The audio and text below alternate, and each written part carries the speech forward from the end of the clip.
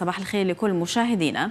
أجواء حارة موجة حر تخص أغلب المناطق الشمالية خاصة, خاصة الغربية خلال نهار اليوم إن شاء الله الأربعاء. وكذلك خلال الأيام القليلة المقبلة نبقى نسلو وضعية جوية حارة على أغلب المناطق الشمالية للوطن. وكان قد أصدر الديوان الوطني للأرصاد الجوية تنبيه يخص كل من ولاية سيدي بالعباس غليزان شلف مستغانم عين تيموشنت ولاية تلمسان عين الدفلة معسكر ووهران بتسجيل درجات حرارة قصوى تتعدى 38 درجة تحت الظل. آه، وهذا إلى غاية التاسعة من ليلة اليوم إن شاء الله. ويرتقب خلال ظهيرة اليوم. الأجواء ستكون حارة فيما يخص أغلب المناطق الشمالية خاصة الولايات الداخلية. إذا شلف ستقارب 38 درجة تحت الظل. مسيلة حوالي 35 درجة مع نسبة رطوبة في حدود 28 بالمئة.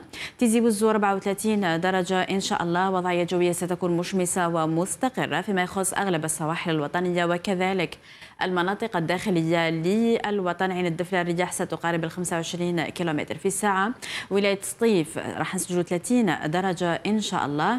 آه، وهران حوالي 34 إلى حتى 38 درجة خلال ظهيرة اليوم. الأربعاء تلمسان 38 درجة مع نسبة رطوبة تقارب 27 بالمئة وولاية معسكر إذا كما شفنا حسب التنبيه ستتراوح الأمور بين 35 إلى 38 درجة وسيدي بالعباس إذا حوالي 34 درجة. توقعات إن شاء الله درجات الحرارة القصوى فيما يخص الولايات الجنوبية. إذا مقارنة بالمناطق الشمالية ستكون منخفضة.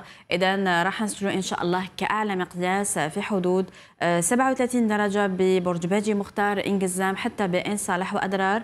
إليزي جانيت ستقارب 30 درجة. بشار وتندوف أيضا 30 درجة. غردايا زلفانة المنيعة 29 إلى 32 درجة.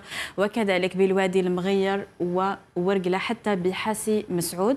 الرياح ستكون قوية خلال ظهيرة اليوم على وسط الصحراء وأقصى الجنوب الجزائري.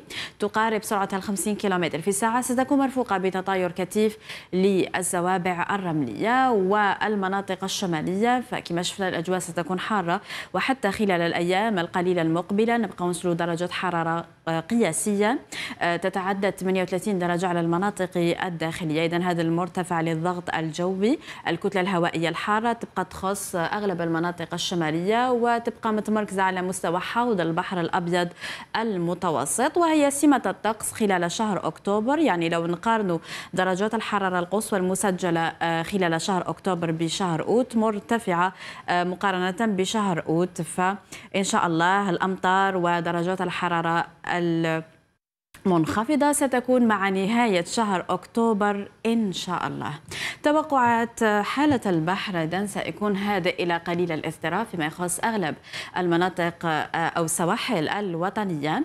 الرياح لن تتعدى سرعة 30 كم في الساعة. رؤية متوسطة علو الأمواج أقل من المتر الواحد واتجاه الأمواج شمالي شرقي على كافة السواحل الوطنية. ويبقى البحر إن شاء الله هادئ إلى قليل الاضطراب فيما يخص أغلب السواحل الوطنية. خلال الأيام القليلة المقبلة وبالتالي الأجواء ستكون صيفية بامتياز على الولايات الساحلية.